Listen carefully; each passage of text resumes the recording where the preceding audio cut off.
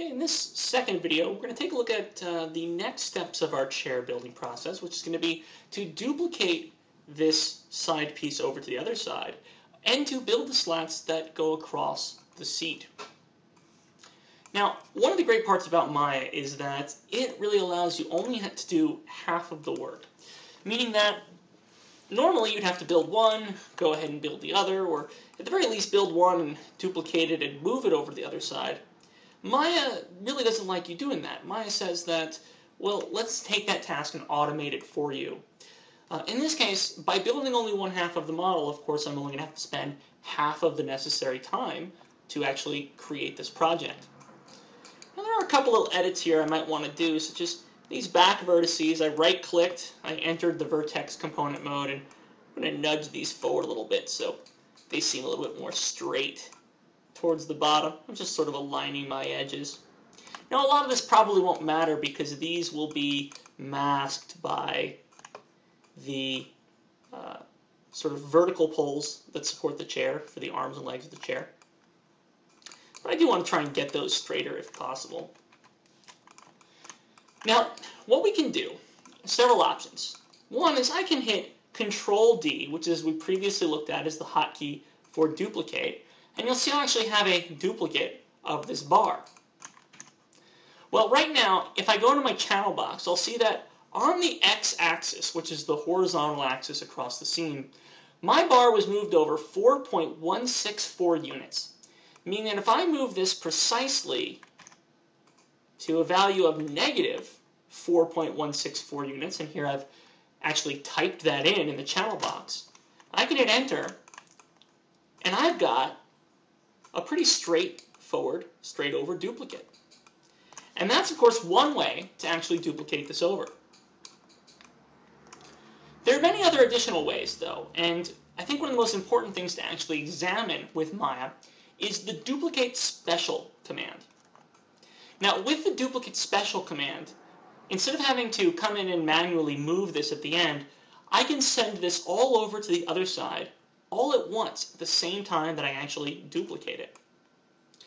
To do this, however, all of the values that I've set here, the translates, the rotates, and the scale, I need to be able to reset out those values so that Maya forgets the position of this and then it bases its transformation pivot point not from the center of the object, but from the center of the world.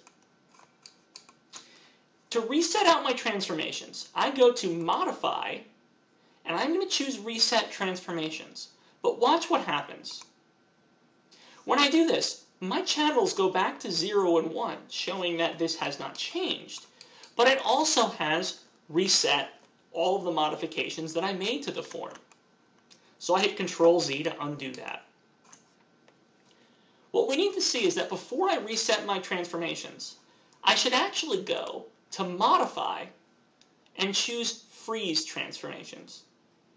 Freeze transformations is going to make Maya forget that anything actually happened to this shape, and it will sort of make Maya think that this was the original shape when I created the object.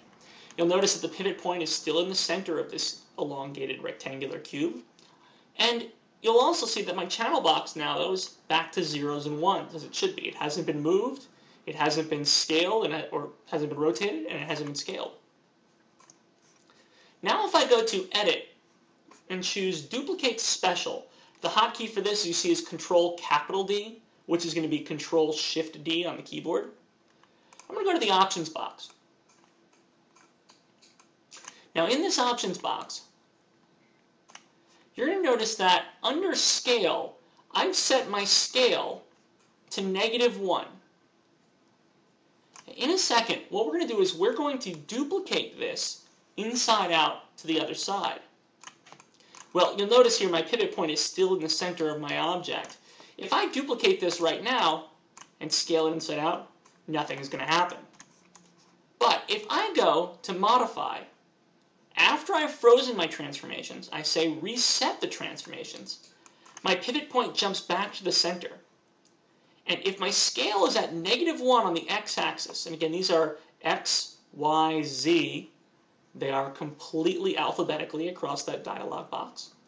If I scale it negative 1 on the x-axis to go from the positive to the negative, all I have to do is hit apply.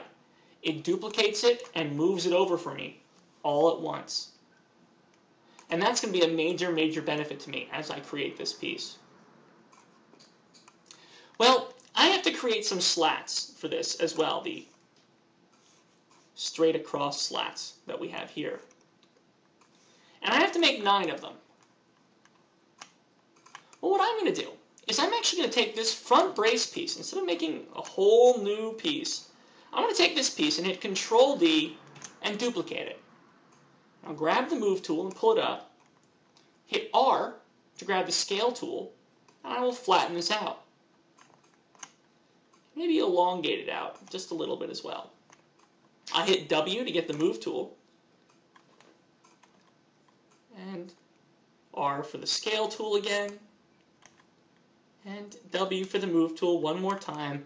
And what I'm looking at doing is creating a slab that goes straight across this section.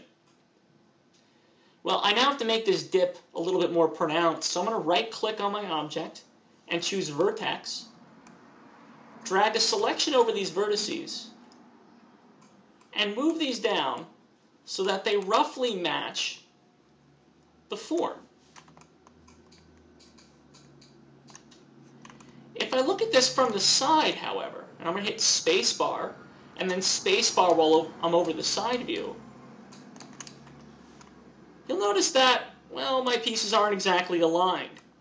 This is why the orthographic views can be very, very helpful, because they can help for you to uh, determine exactly how much more in alignment things need to go in ways that you really can't see in perspective.